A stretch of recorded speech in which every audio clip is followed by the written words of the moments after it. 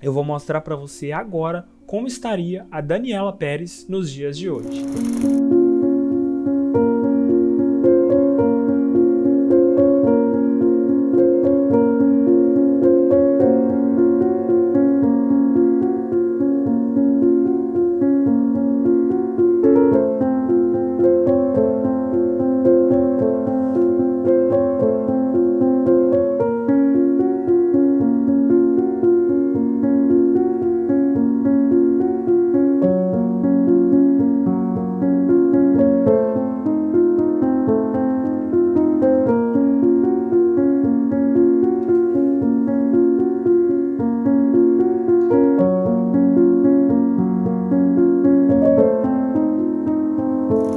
Se você quiser ver o vídeo completo, é só ir lá no nosso canal do YouTube.